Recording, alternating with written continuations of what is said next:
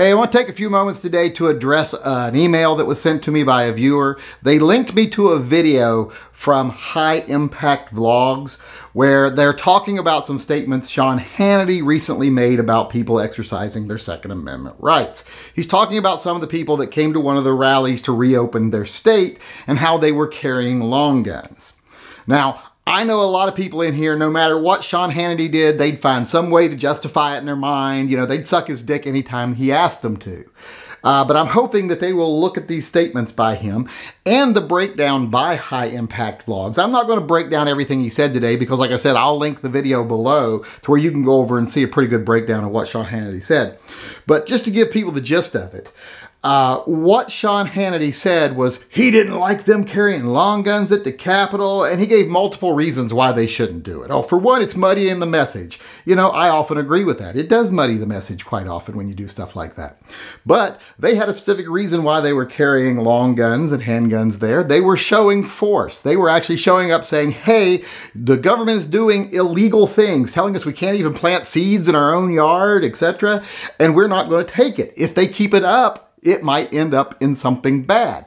Right now, we're here peacefully to just show that we don't have to take this. But Sean Hannity goes on talking about, I'm such a big Second Amendment guy. I'm such a big Second Amendment guy. And I'm like, you're not a Second Amendment guy. You're a fucking Fudd.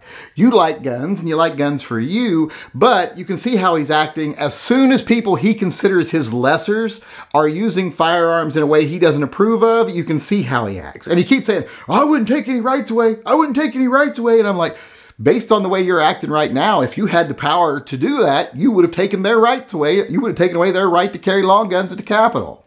Very clear you would have taken their rights away. So I wanted people to watch this video because he goes on, like I say, to use several reasons why they shouldn't be doing this. One of them is like, oh, it made the police feel scared. It scared the police. And I'm like, fuck the police. And fuck scaring the police. Those people in that crowd, those police, no one got harmed. Those people didn't take any overt actions against the police. In fact, I would say that those armed people in that crowd were far more at danger from those police than those police are from them. Especially since police have a tendency to make sure that the government takes names and faces and then they go after them later when they can't don't have people around them to help defend themselves. So I would say the police probably weren't in much danger there. More so the people are in danger from the police in the state there. Uh, also, he goes on talking about how, oh, this is just a show of force and we shouldn't be using shows of force and it's intimidating. So, in other words, he doesn't like the way they're using their firearms and he doesn't like the message firearms contain. I guess he considers if anyone carries a gun openly, that's a show of force and they're trying to intimidate people. He just whines and fucking whines about that. Uh, just everything he says is so fucking fuddish. Uh, just irritates the fuck out of me. Like I say, I've never liked Sean Hannity. Don't like him now. Don't won't like him tomorrow.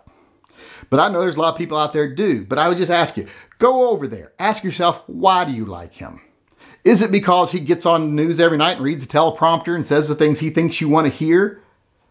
But occasionally he lets his own opinions slip in. Pay attention when he lets his own opinions slip in, like he did here with the Second Amendment. He is not a Second Amendment guy. He's a guns for Sean Hannity guy. He's a guns for his friends and people like him guy. As soon as I, as soon as people he uh, considers his lessers, like I said before, do something he doesn't agree with with guns, he's all over it. Doesn't think it should happen. Wants to put a stop to it. Blah blah blah. And don't tell me he wouldn't if he could, because he would if he could. You can just tell by his way he's acting. His guests don't agree with him. When you pay attention to these clips, you'll be like, his guests are like, what the fuck is this anti-gun shit? Uh, but they try to kiss his ass along the way or they won't be back on his show again.